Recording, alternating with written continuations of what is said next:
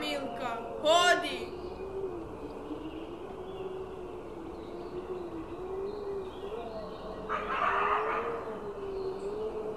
Mu, mu. Ajde, idemo, i meni je zima.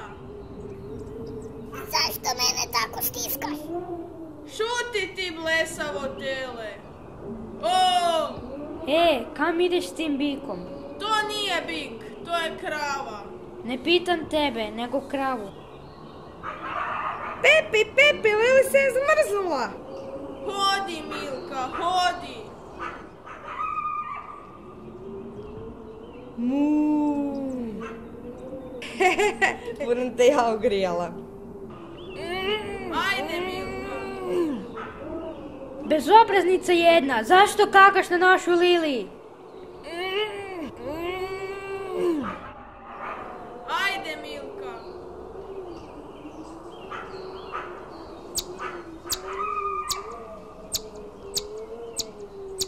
Hura, Lili je živa! Lili, tiho budi, ide Azrija.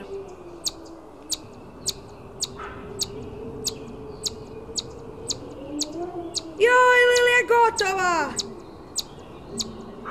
Pusti me, pusti me, imam tiču gripu. Joj! Keti, tiho budi, da nas ne primijeti.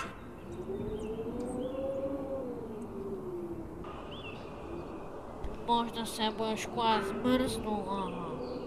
Je, je, tako vam je to u životu. Nije ti svatko neprijatelj koji kaka po tebi. A nije ti svatko prijatelj koji te iz kakice vadi van.